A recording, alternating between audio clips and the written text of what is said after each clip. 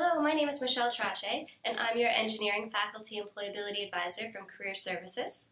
And I'm Zoe Marston, and I work for the Industrial Liaison Office student team, and we're going to introduce you to four top tips for meeting your mentor. Number one, remember that first impressions count, and more importantly, that these first impressions are formed very quickly. Things like your handshake, your smile, how you introduce yourself, uh, what you're wearing, these are all going to come together to create a first impression. I would suggest to everybody uh, that you wear business casual for this event.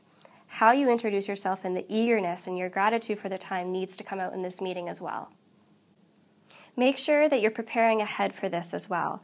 By researching the background of the person you're meeting with and the company, you're going to be able to ask smart questions and really make that impression you're hoping for make sure that you have more questions for the meeting than you think that you'll actually be able to go through.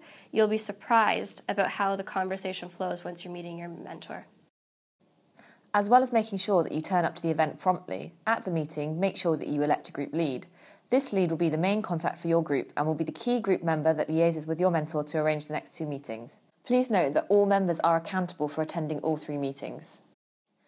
Think about suggesting a date for your second meeting at the end of your introductory meeting. Ascertain when and what activity would work best for you and your mentor.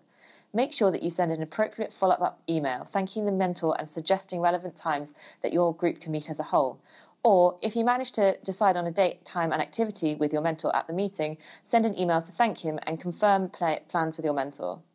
This would be the optimal time to add your mentor to LinkedIn.